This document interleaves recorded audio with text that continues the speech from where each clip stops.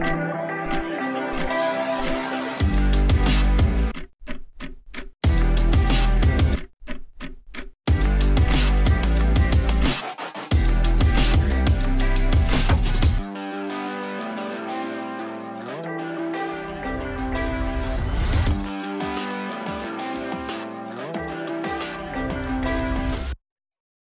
Hi, guys. Welcome to Sandals Church, and we are wrapping up 40 days of prayer. I don't know about you, but this series has really, really challenged me in my prayer life. And if you're just joining us, look, this is not, you're not too late. God is still doing things and He's still moving.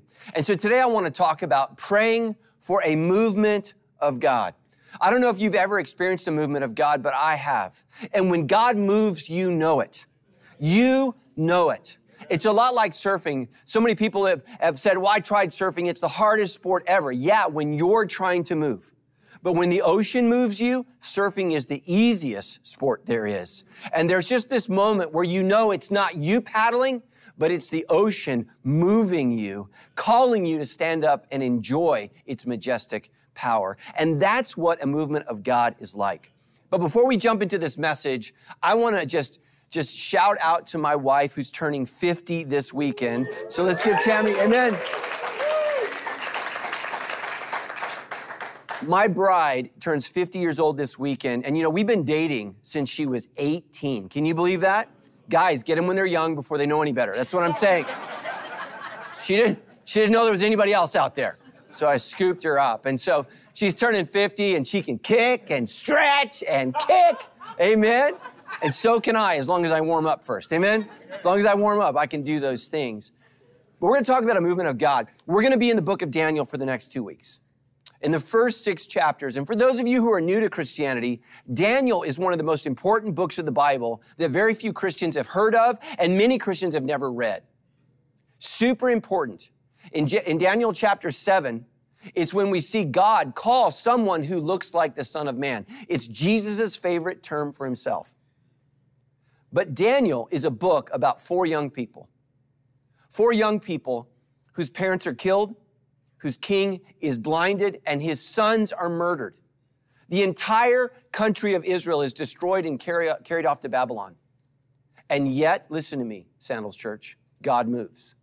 God moves in the hearts of four young men Daniel, Shadrach, Meshach, and Abednego. This week we're going to talk about Daniel. Next week we're going to talk about, as we move into miracles, we're going to talk about Shadrach, Meshach, and Abednego. In Daniel chapter 6, verse 10, it says, When Daniel knew that the document had been signed, so let's pause there. A document had been signed saying Jews, Jews could not pray anymore to their God. I just want to challenge you. We've been in a series for 40 days of prayer where you have the legal right to pray anywhere, anytime, in any way that you choose. Have you done it? Yes. Daniel lived in a country where prayer was illegal. You cannot pray, and anyone caught praying would be arrested and killed. So he lived in a world, he lived in a country, he lived with a king who said, You cannot talk to God. Next verse. He went to his house where he had windows in his upper chamber window towards Jerusalem. He got down on his knees three times a day and he prayed. Not once, not twice, but three times. Listen to me, Sandals Church. I love you. God loves you. But if you're not praying, you're not experiencing God. If you're not praying to God, you're not going to be moved by God. And listen to what he did. He gave thanks before his God as he had done. Listen to this word previously. Some of you are waiting to pray, you know, until you need an emergency. Let me tell you something pray before the emergency. Because here's the beautiful thing about prayer prayer can go ahead of you, amen? You don't just need prayer in the moment, but you need prayer for what's coming that you cannot see. And so he prayed publicly. He prayed in his window. He prayed towards Jerusalem so everybody knew who he was praying to. And then these men came by agreement and found Daniel. You see, they had set him up. They were jealous of Daniel because Daniel was not from Babylon. He was not a local. Daniel was a slave. He'd been conquered, he'd been brought to his country, and he was being promoted past the people who were citizens of Babylon.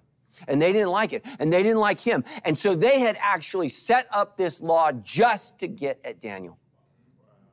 Because it was the only way they could trip him up. Because the king of Babylon loved Daniel so much and considered Daniel the wisest man in the land. So they found Daniel. They caught Daniel making a petition and a plea before his God. I just want to ask you this. If there was a trial today and you were accused of being a Christian, is there enough evidence in your life to prove it? I mean, some of you could not be convicted in a court of law for your faith because there would be no evidence of your faith. Every single time Tammy and I, we go to a restaurant, we pray. And almost every single time, we're the only people in the restaurant praying. Do you know why I pray when I go out to eat in a restaurant? Because I remember the days when we couldn't afford a restaurant. I remember those days. I remember those days. And I thank God that I have the money to eat whatever meal I want to eat. And that didn't come from me, it came from Him. Look, you want God to bless you, then thank Him for what He's already done. Thank Him and pray. Pray. Pray in your home. Pray when you eat. Pray at work. And it doesn't have to be weird. It doesn't have to be a scene. You can bow your head and close your eyes quietly. Tammy and I don't talk to the restaurant. We talk to God quietly and to each other. Here's what I want you to know about your prayers. My prayers prepare me for God's purpose. It prepares me. Daniel, he got down on his knees three times a day and he prayed and he gave thanks before his God as he had done previously. Anybody frustrated? Lack of promotion at work? Lack of a raise? Lack of an opportunity? Let me just challenge you to start praying. Start praying. You see, Daniel went from a slave to the prime minister of his country. I want you to just think about that. Think about that. Think about slavery in our country. Imagine someone stolen from Africa, brought here, and they become second in command of the United States of America in the 1850s. That's what happened to Daniel. Because he was a praying man. Jews were despised, they were hated. The king of Babylon, just to make a point, gouged out the eyes of the last king of Israel. But wait a minute, not before he murdered all of his sons because he wanted him to see that his own lineage died. That's how much Babylon hated Israel. And then they gouged out the eyes of Zedekiah and they forced him to live forever. Listen to this with the knowledge that there would be no one after him. Babylon was cruel, mean, evil, and yet Daniel rose. Daniel rose. Can I just say this? I don't know what you think is holding you back, but racism didn't keep Daniel back because Daniel knew Jesus. And he was able to rise through the ranks of racism, rise through the ranks of bigotry. And he was able to rise. Why? Because he knew how to get on his knees. You see, listen to me, the way up is down in your life. It's down in your life. Listen to Daniel chapter 6 verse 3. Now Daniel distinguished himself from amongst the administrators. Look, he went to Harvard, couldn't, couldn't read or write English, and he graduated first. He was first in his class. And the satraps, they, they saw all of his exceptional qualities so that the king planned, listen to this, to set him over the whole kingdom.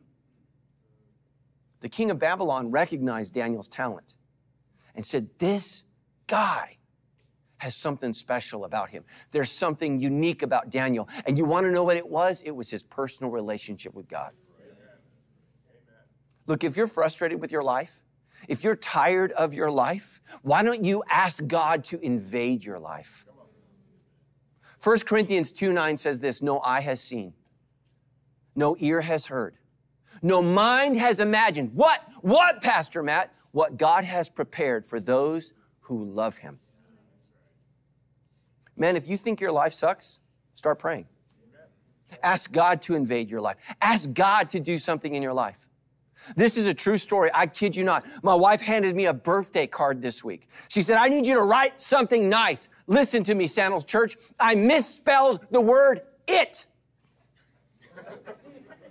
If you don't know English, you got a 50 50 shot of getting it correctly. And just so you know, you can't fix t. You can't fix it. My wife's like, What's wrong? I wrote t. I wrote t. This, there's no fixing this. We can't go back. I have dyslexia. I didn't know I had dyslexia until I was in the army and I failed the eye test. It's why school was so hard. You hear me, mom? That's why. Why can't you get your spelling right? Because the letters move. You have no idea what God will do through you. I wrote this, every word in this. And you want to know why? Because God had a plan bigger than my ability. Bigger than my ability.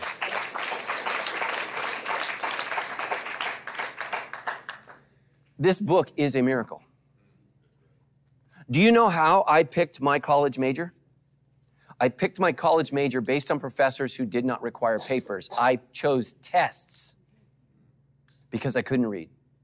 I couldn't write. I picked a professor who lectured. That's how I got through college. Because I couldn't get through a book. If God wants to do this through me, what does He want to do through you? What does He want to do through you? Here's the thing you need to know about prayer my prayers opened God's heart to reveal His plan to me. Some of you are like, Pastor Matt, I don't know what God's plan is. Well, are you asking Him? Are you asking Him? My prayers open God's heart to reveal His plan to me. When I pitched this book to HarperCollins, I'm just gonna be honest with you. HarperCollins is not a Christian company. You wanna know what they said? No. No. We don't wanna write a book on miracles because COVID is happening and people are dying. They said no. I had to go before the vice president of all publishing and make my case. And they said yes. And then I had to actually write the book because it wasn't written. so I probably should have thought about that. But, um, but here's the thing you have no idea. You have no idea what God's going to do through you. And, and, and, I, and I don't bring this book up to draw attention to me. I bring this book up to draw attention to maybe what you haven't seen in your own life yet. Because if he can write a book through me, man, I have no idea what he can do through you. If he can take someone who can't read and he can help them write, what could he do through you? So uh, I want to thank everybody who bought it online. Thank you so much. Uh, I got my first review. And uh, be careful when you ask for people's opinions on things. So, like, you can ask me, because I probably won't be honest. You know what I'm saying? Like, if you're like, what do you think? I'll be like, oh, it's good. I'll be like, you know, because I don't want to hurt your feelings. But we have this guy on staff, and he and he uh, he read it, and uh, he's super serious guy. And I I, I, I, regretted asking him what he thought about it right after it came out of my mouth, because uh, I knew he was going to tell me the truth. And he was like this. I said, "What do you think of the book?" He goes. and my heart, you ever done that? My heart, just, my heart sank. Like he stole a little bit of my soul. You know what I'm saying? I said, "What do you think of the book?" And he went like this. He said, Matt, it's the best book I've read in years.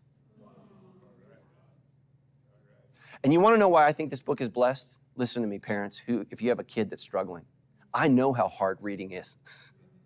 So I wanted to make a book that was easy to read. I get it. I get it. I don't want to write a book that makes people feel dumb. I want to write a book that makes people feel God. Amen? That's what I want to write. All right? So, uh, it comes out this week. Be, be in prayer for me. And here's why. I got to do a, a, publicity tour. They're saying I might be on Good Morning America. It, it was interesting. They actually said, you know, it's not like we're going to put you on The View. and if anybody watch The View, you know, that's where men go to die, right? Um, but you know what I said to the publisher? And part of it is why I'm preaching on Daniel, because I thought this if Daniel can go to the lion's den for God, I can stand in front of Whoopi Goldberg. Amen. Amen? And one of my one of my one of my friends said, "Well, what are you going to say? What are you going to say?" And you know what they're going to do? They're going to pelt me on political issues. They're going to pelt me on Trump. Like they're, like they're going to pelt me on everything but what's in this book. And here's what I'm going to say Look, I know this God that you don't believe in. I know that he's real. And I know that he's real because I've seen him raise the dead. And that God, listen to me, that God I don't want to offend. That God I don't want to upset. That God I want his blessings. And all I want them to know is that I have seen miracles done in the name of Jesus. Amen. And I want the world to know, amen. I want the world to know that he can do that through you. He can do that through you. There are stories about our church that you've never heard, miracles that you've never seen that our church has experienced. These, this, this book is full of people's stories, brave people in our church who allowed me to share their stories of incredible miracles and some of their deepest, darkest wounds. And I'm so thankful for this. And so here's what I want you to know, uh, um, you know, as your pastor. Uh, some of you, I get it, money's tight, whatever. We've We've ordered thousands of books that are going to be for free for anybody who will join a group. You got to join a group because God doesn't want to do a miracle just in you, but He wants to do a miracle through you and to others. And so if you'll join a, a group next week, we will have a book available for you for free. Amen? Okay? The book is not here for, for me to make money, it's for you to be blessed. Next, for all the books that are sold at Sandals Church, Tammy and I are going to donate all of that money to our kids that are going to youth camp. And if you have a kid that goes to youth camp, amen?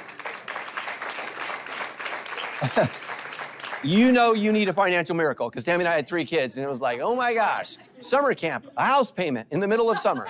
Um, so, so any books that are purchased at Sandals Church, Tammy and I are going to donate to help your kids go to camp. And here's why: because I believe God does miracles at camp, and that's where He first spoke to me. So, Amen. So let me just say one last thing in the book, and then we're going to move on. Thank you so much for for ordering online. And, and here's the thing you need to know: people only know about books as they're sold. That's the only way that the word gets out. And I want the world to know that Jesus still lives, that he still does miracles. And, and here's the thing the last chapter in the book, in an OR, with a surgeon, doctors, anesthesiologists present, everybody present, a little boy was called dead. But they said, We're not going to call him dead until you pray, Pastor Matt. This happened. I was there. I know it. I was scared to death.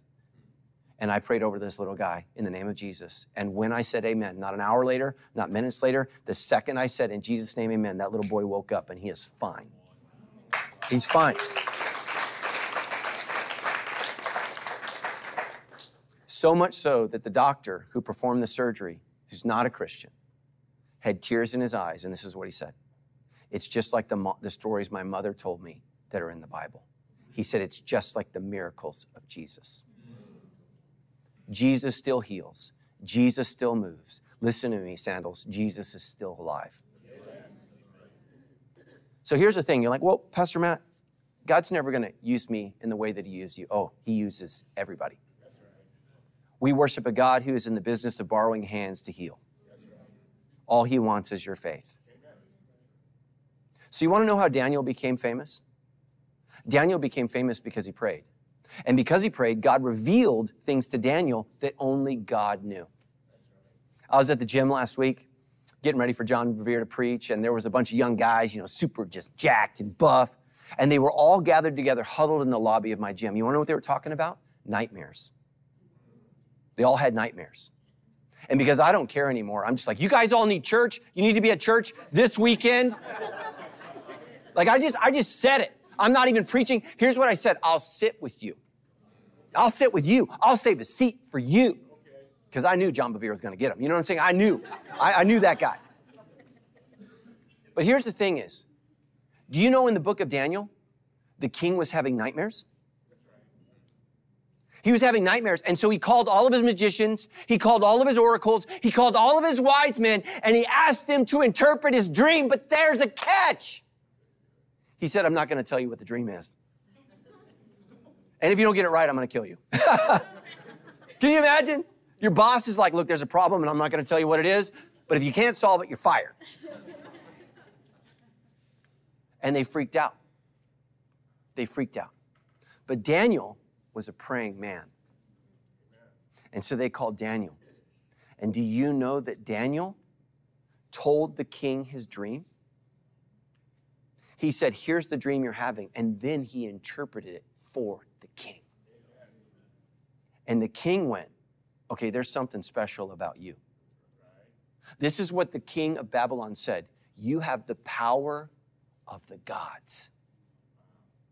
Do you know why you should be praying? Because prayer is the power of the God, the one God, the true God. And if you're not praying, you don't have that power. Next, my prayers provide God's protection. Look, when you get in your car, when you go for a walk, when you ride your bike, there are idiots everywhere.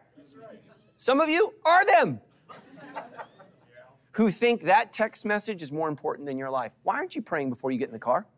I'm so convicted on this. Does anybody do this when you get on an airplane? They've done studies. People touch the planes. You know, that's me. Every time I get on an airplane, I say, Lord, I know the Bible says, Lo, you are with us. Okay? So I need you to be up there. You know, especially if it's a Boeing, right? if it's Boeing, I probably ain't going. Amen?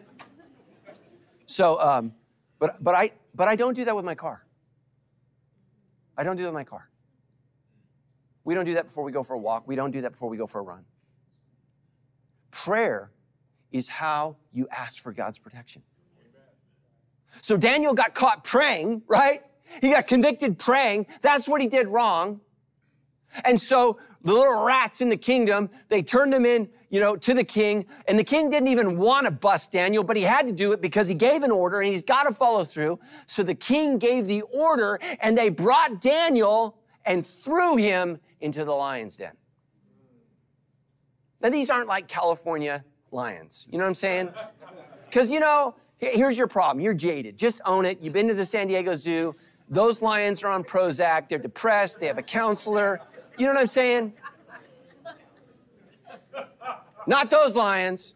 You know, those lions like want to back scratch. These lions want to eat you. These are African lions. These are hungry lions. My wife and I, a couple years ago, we got a dog from Africa. It's called a Boerboel. And you know why they have Boerboels in Africa? To keep lions off the property. Boerboels are psychotic. I love my dog. She's not going to heaven. She doesn't have Jesus in her heart. I remember one time my dog killed a rabbit. I kid you not. I said, Don't do it. She looked at me, skinned the rabbit alive, swallowed him whole, and was like, What are you going to do? It's an African dog. Okay, not like the dogs you have. And those aren't even dogs, they look like stuffed animals. I don't know what that is. You know, you got your little dog in your purse. My dog's from Africa. But these lions, these lions are from Africa. They're not San Diego Zoo lions. They're not like, what up, bro? They're not those kind of lions. They threw him to the lions. And the king said to Daniel, May your God, whom you serve, listen to this word, continually. Some of us in here serve God occasionally. Amen? Right? Yeah, I did once. I served you once. May your God, whom you serve continually, even if there's a law that says you cannot serve God, Daniel still serves God. May your God, whom you serve continually, listen to these words, rescue you. Let's just let's just pause here. Anybody need to be rescued today? I don't know about you, but I need God to rescue me daily. There's people that have come to church this weekend, and you're not even sure that there's a God, but you know you need to be rescued. What do you have to lose? Call out to Him, cry out to Him, beg Him. Say, God, if you're real, save me. Save me. Because we worship a God who saves. I love this. Daniel 6:18 then the king returned to his palace and he spent the night without eating and without any entertainment being brought to him. Listen to this. He could not sleep. Let me ask you a question. Do your prayers and your integrity haunt the dreams of those who hurt you? Man, think about that.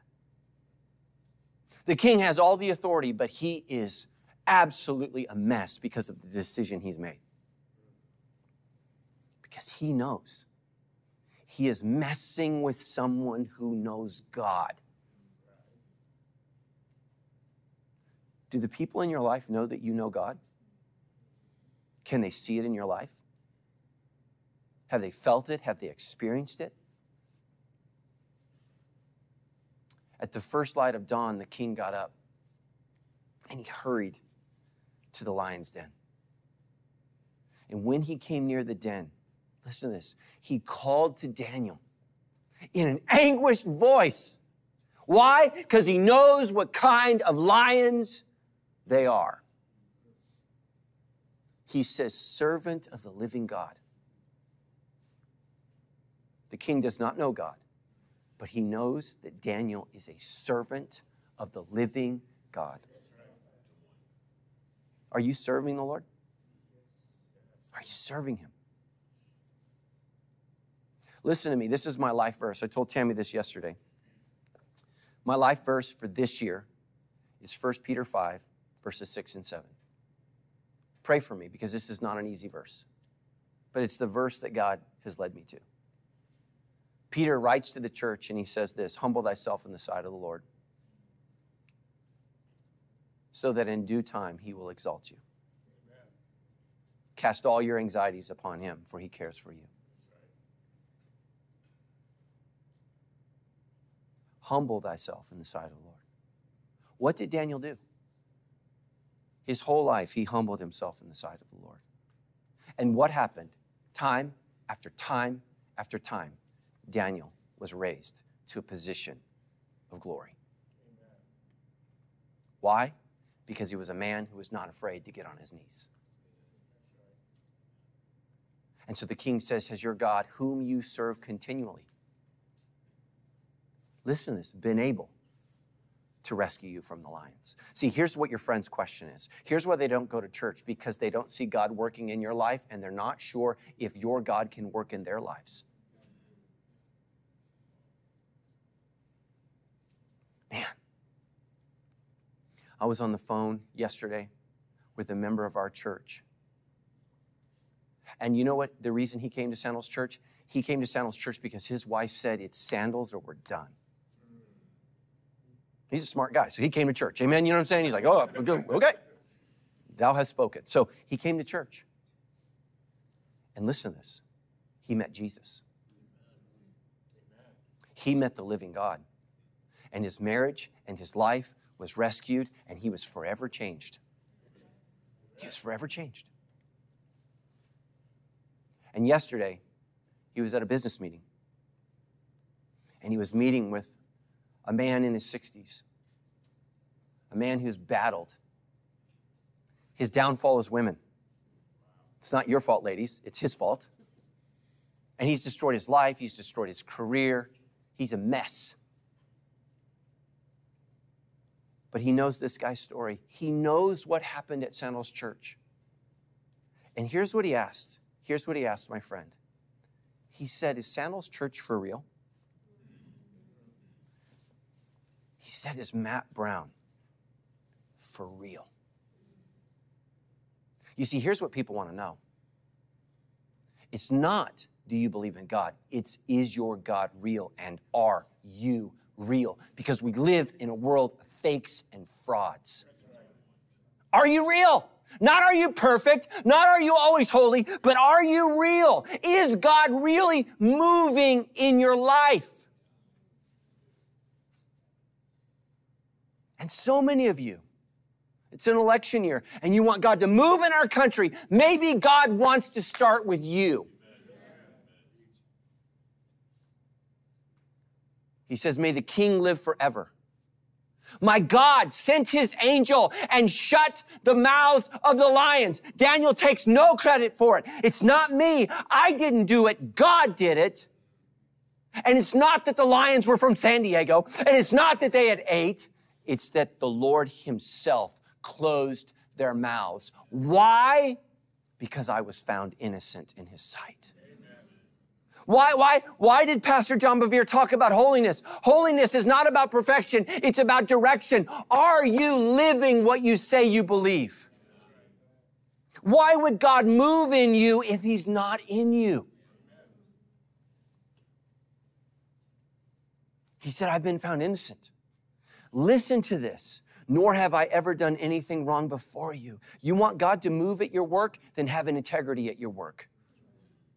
Be the hardest worker. Be the greatest worker. Show up on time. Give it your best. Never lie. Never cheat. Never steal. If you're mad that God has you stuck, maybe the way He's going to unstuck you is by you operating with integrity. Daniel says, I, have never done anything against you, king. Daniel worships a different God. He's from a different religion. He's from a different race. Listen to this. He's been conquered and enslaved, and he serves. He serves. And he serves his earthly king, listen to me, because he has a heavenly king. And he believes that God is moving in his life. Let me tell you why you need to start praying today. My prayers destroy the power of evil. And if you're a parent right now, any parents in here, raise your hand if you're a parent. If you don't think evil is after your children, then you don't live in this world. I went out to, to for a date with one of my kids, and my kid was telling me what was going on in her life. And let me tell you something, as your pastor, I have to confess, I felt so foolish because the enemy was trying to swallow my kid and he did it right under my nose. Listen to me, parents, start praying for your kids. I don't care if they're a toddler, they're going to be a teenager one day. And when they become a teenager, they're going to care more about what everybody else thinks but you. And don't ask your kids, do you care more about what your friends think? Because they're going to lie. No, no, mother and father. I appreciate your truth. It's part of the way God biologically helps our kids to leave the home.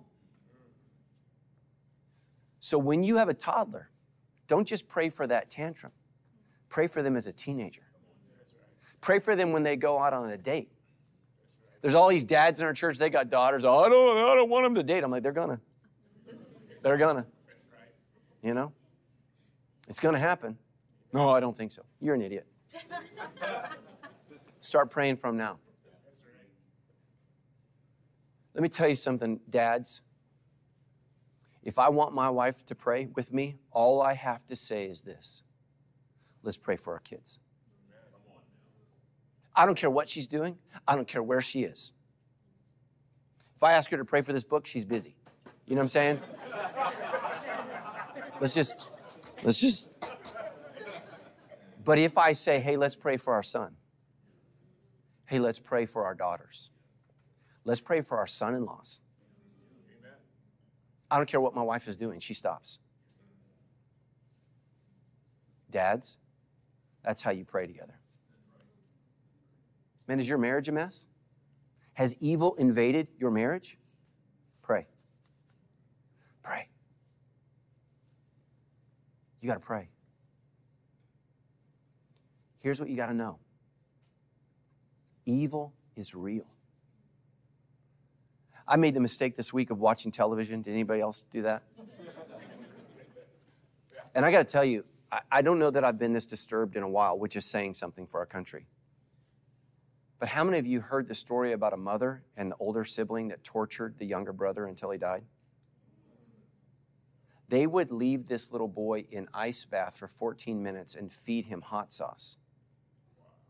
A mother did this to her own kid. Can I just tell you, I wasn't okay. I had to walk away from the TV screen because my heart broke for this little guy. The very person that was supposed to protect him, his mother, is the person who killed him. That's our world. Evil is real. It is real. So, what do we do? What do we do? Here's what Jesus did. Jesus came to Peter and he said, Satan has asked for you, Peter, but what? I prayed for you. I prayed for you. Prayer makes the devil run. Prayer makes evil hide. Prayer changes the world. Man, if there's evil over your marriage, if there's evil in your life, if there's evil attacking your children, then pray for a movement of God. So these men plot to kill Daniel because they're jealous of him, because they're racist, because they're bigoted. They can't stand his religion. They think he's a joke. And they plot to kill him. But Daniel prays. Daniel prays. And so what did God do? God shut the mouths of the lions. The king was so overjoyed. He's so happy. He gave orders to lift Daniel out of the den. And when Daniel was lifted from the den, no wound was found on him. He didn't have a scratch, not a bite, not a nick. Why? Because he had trusted in his God. Did you just hear what I said? Because he had trusted, listen to this, in his God. Well, wait a minute. Why wouldn't it say in the one true God? Because the book of Daniel is the only book in the Old Testament not written in Hebrew. It's written in Aramaic, the language of the Babylonians. Listen to me, Sandals Church. Daniel is the story of an ungodly, non Jewish nation that meets God through Daniel. He trusted his God, not our God, his God, not who we worship, who he worships. At the king's command, the men who had falsely accused Daniel were brought in and thrown into the lion's den along with their wives. Whoa and kids. You're like, this is harsh. Babylonians aren't Christians, not saved. A little rough, the Babylonians. And before they reached the floor of the den, the lions overpowered them and crushed all their bones. You see, the lions were hungry, but they were not allowed to eat the Holy One. They were not allowed to eat Daniel. Anybody got a pet? Do you know how hard it is to get your pet not to eat food? No, don't do it. Don't do it. I can threaten my dog. My dog will eat it. My dog ate an entire pizza. She's 140 pounds. She ate an entire pizza on the counter in two bites. You know? Chocolate's supposed to kill dogs, not my dog. not my dog. You could, you could put chocolate in her veins through an IV, and my dog's just like, whatever, bring it. Do you know how hard it is to get your pet that loves you, that lives in your house, to do what you say? God said, don't eat, and they didn't. Isn't that amazing? You can't make your dog sit. God can make a lion sit all night long. Sit. Don't touch him you're going to eat tomorrow. yeah, we're going to bring in the sinners. Last point my prayers can unleash a movement of God. Here's what you need to know about Daniel. Remember, I told you Daniel's written in Aramaic? Daniel is the Holy Spirit moving on the king of Babylon repeatedly moving through Nebuchadnezzar, moving through Darius, moving through the Medes, moving through the Persians, constantly God moving in a nation that is not his. How?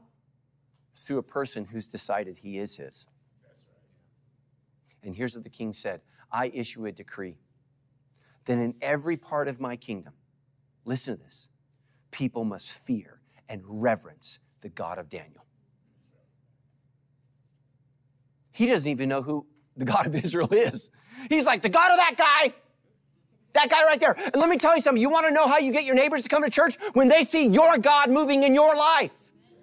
Not my God. Not a God that moved a hundred years ago, a thousand years ago. Not a God that resurrected 2,000 years ago, but a God that is living and alive in you. That's how they meet him. That's how a movement of God starts. You want your teenagers to worship God? Let them see you worshiping God. You want your kids to make church a priority? Then make church a priority. You want to see your kids praying? Then let them see you praying. Listen to what the king says For he is the living God and he endures forever. Amen. This is a pagan king prophesying truth. His kingdom, listen this, will not be destroyed. His dominion will never end.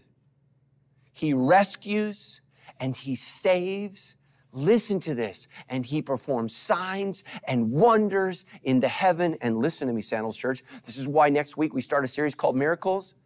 And he does miracles not just in heaven, but on earth. Right here, right now. He has rescued Daniel from the power of the lions. Some of you today, you need to be rescued. I don't know what lions you're facing. I don't know if you're lions at work. I don't know if lions in your home. I don't know if you're lions in your computer.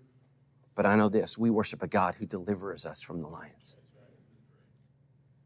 And if you want God to move, I'm going to challenge you to make the first move. Listen to me, parents.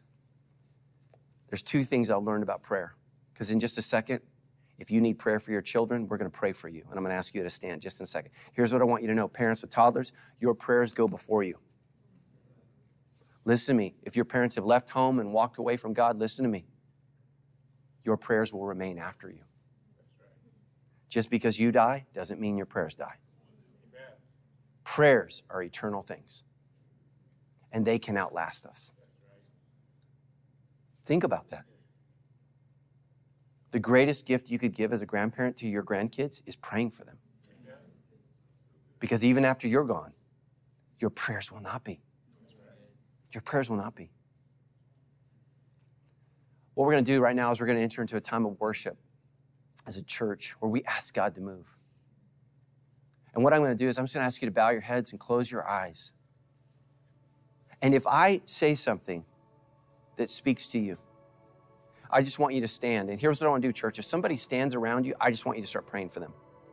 We don't know what's going on in their lives, but we thank God for their courage to say, God, move in our lives. So we're going to start with the most challenging relationship there is on earth, and that's marriage. If there's somebody in any of our campuses that needs prayer for their marriage, would you just stand? Thank you right there. Let's just pray over her right now. She's standing for marriages. Anybody raising a kid and you're worried about that kid. Maybe you're you're raising a little Matt Brown and you can't read. Don't give up on that kid. Let's pray for these families that are standing. Let's pray for their kids. Let's intercede on their behalf.